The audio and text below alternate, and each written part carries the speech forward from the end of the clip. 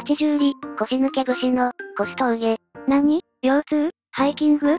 幕末の武士、河合継之助よ。知ってる小説とか、映画になっている人よねそそ、司馬遼太郎様の峠で私は知ったんよ。食べ物と橋以外の、文章読めるん？酒の本も読めるよ、あはは。峠はね、うむ。幕末小説の多くは、薩長側に立ち、勝ち組視点が多いけど、うむうむ。小説峠はね、幕府側の視点で現状に地道に対応しながら、うむうむうむ。組織人として一生懸命に生きた人の視点だから、かなり感情移入しやすいんよ。なる、使うとき、なんか自分に重ねてない？ないない、地道じゃないし私。確かに。納得派や、ちな、私の私的な意見だから、小説峠で確認してね確かに、私は活字苦手だから映画見ようっと。幕末の風雲児、河合継之助に学んで改革しないと。だね。そそ。つか、鳥間見に行こう。え、映画館資料館だいたい、そんな感じ。到着、腰の大橋、アー妙見関。え、映画館資料館どこ？ぐっふふ、腰の大橋はね、流れるように説明入ってるしぐっふふ。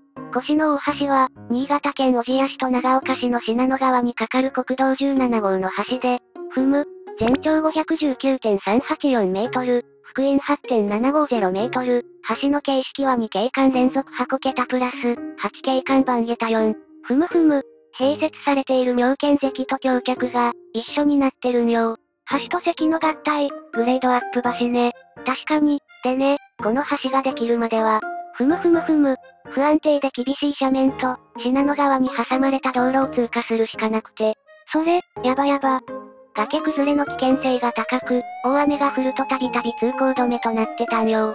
重要幹線道路なのにねそりゃ改善しないと。で、小千谷バイパスと腰の大橋完成で、クリアされたんよ。よかよか、安心道路にグレードアップだね。確かに、ちな、腰の大橋が開通したのは、1993年11月。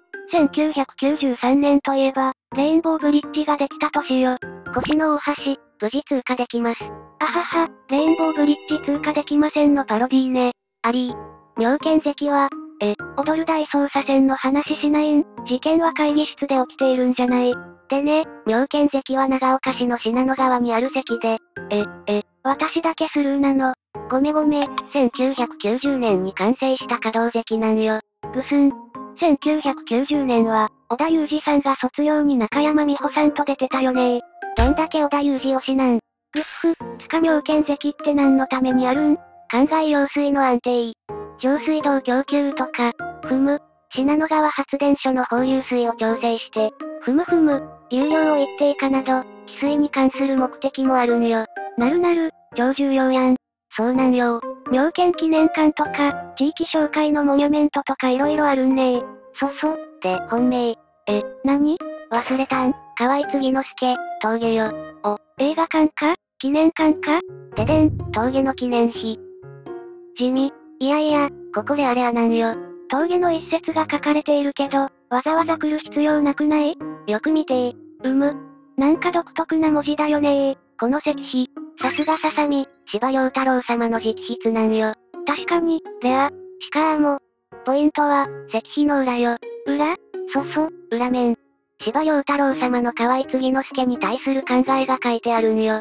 へえ、確かになんか書いてある。内容はね、長岡藩を近代化させ、独立組織へ導くために動いた。うむ。しかし、時代の方が早かった。薩長が長岡藩に非常な屈服を迫り、うむうむ。叶わないまでも、戦うという美的表現を取るしかなかった。あらら。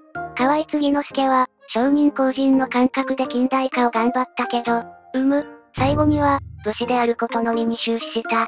おうおう。とか、書いてあるんよ。つか原文が素晴らしいから、確かに素晴らしいよね現地での出読よね。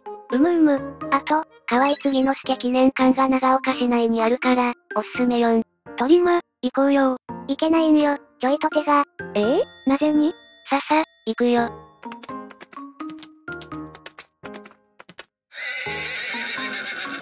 ででん、吉野川城倉。え、河合継之助は？鳥間説明よろ。オケ。吉野川酒ミュージアム城倉は、ふむ。約100年前の倉庫、城蔵を改装したものなんよ。築100年、すご。ちな、国登録有形文化財。文化財、やば。かつては、酒の瓶詰め作業が行われていたりしたんよ。